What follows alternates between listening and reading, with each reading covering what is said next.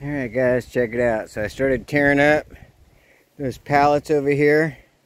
I think what I'm going to put over here is I'm going to clean all the grass off the top of here where I started, you can see I started digging stuff out. And I'm going to plant some tobacco over here because I've been wanting to plant tobacco. So that's the next project. Right here I planted um, some cucumbers. Here I planted more cucumbers. In here with the peppers, I planted several more peppers. I put um, bell peppers and habaneros by seed. And we'll see um, how many of them come up. And then I got my tomatoes are going pretty good. They're looking pretty healthy.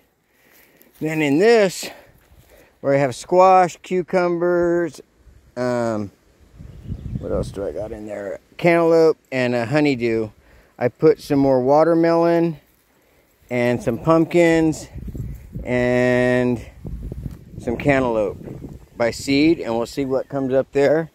Then over here, I got, this is going to be my greens and stuff like All right, so he, it's going to be all kinds of lettuces. I put several kinds of lettuces, mesclun mix, some spinach, um, cilantro over here, spinach over there, lettuce over here, and yeah, we'll see what comes up, all with seed.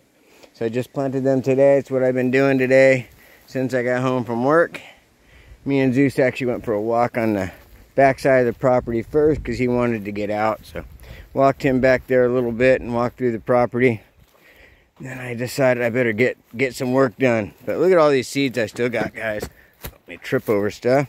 But I got all that to plant. I got some sunflower seeds are going to go over there across the edge. Not really sure. I think I'm going to end up digging up this whole patch by hand, this section right here. And I'm going to put uh, sunflowers across the front right there. And right here, I might put corn. Or if I don't, I might just make this like a little flower garden right here. Have to decide. I got a couple pots over here. I started working on this one. Got to dig the top of that out, dig that dirt up, spin it around, and I'll probably plant a few more things in there. And everything else is looking pretty good, guys. So at least the garden's going. That's where I'm at. Got some plants going, and we got some new plants started. So should be good. Peace out, guys. Grows love.